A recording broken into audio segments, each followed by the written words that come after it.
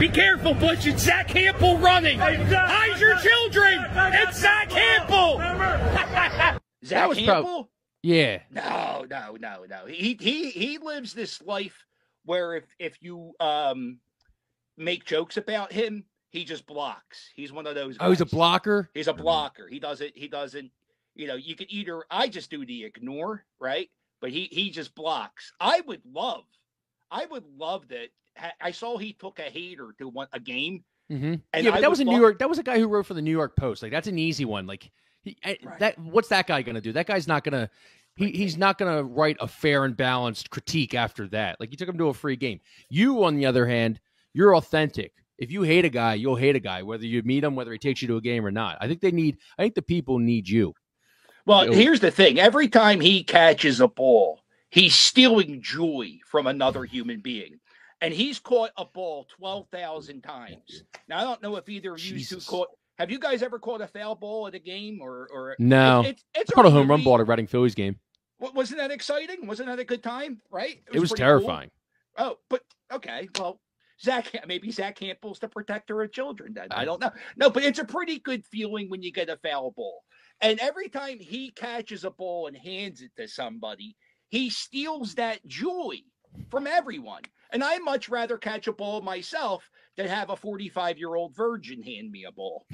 See, listen, I'm glad you said it that way because you hit the nail on the head, and it's something that I've been trying to like articulate every single time we write a story about that because people will come back and they will say, Hey, Zack Hample gives away a lot of balls. He does some stuff for charity. You know, the kids end up getting them. It's not about that. It's about it's not about getting a ball. It's about the experience of catching Right. the ball and having it come to you in the stands. Right. So if they get the ball, but you're still denying them that moment, then it defeats the whole purpose. You know what I'm saying? Yeah, yeah, and he does. He first he has trash cans of bowls in his house, like three or four trash cans.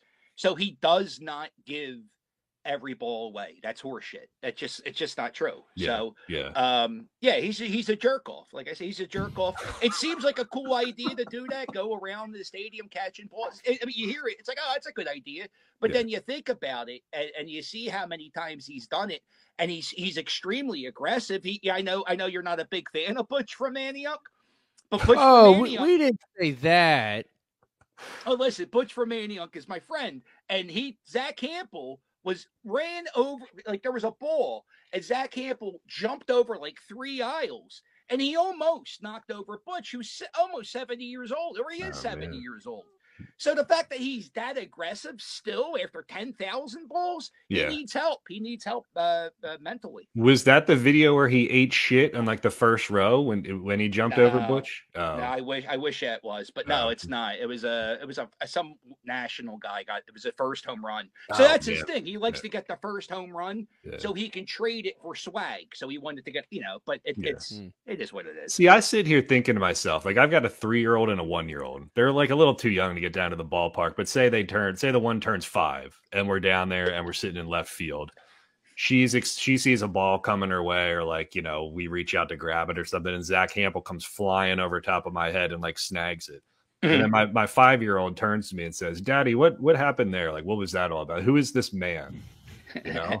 Like I Right. stay here thinking, like, how the fuck do I explain this to her? It's like I don't know. It's a grown man who shags baseballs. And, Are you throwing hands with Zack Hample? I don't know. It's been a while since I've been in a good fight. I'm kind of jonesing for one, if we're being honest. But uh, no, I, I I've had I've had people who who like the head like big big big security guards at Citizens Bank Park Yeah. pull me aside and thank me for yelling at him. He's like the guy's a fucking danger. He just runs Yeah. around like a lunatic. They thanked me.